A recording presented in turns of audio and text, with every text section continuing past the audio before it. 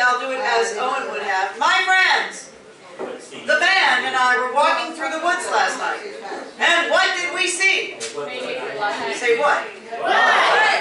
We saw a wolf, a fox, and a hare, and they were, as they say, getting down. Now, I always thought that meant having sex, but apparently not. So, uh, according to Owain, it meant dancing. So, I'm going to sing a song called Ai Vis Lo Lop, which is a traditional French song about a wolf, a fox, and a hare dancing. So, please. Five, oh okay. Give me a, give me a second.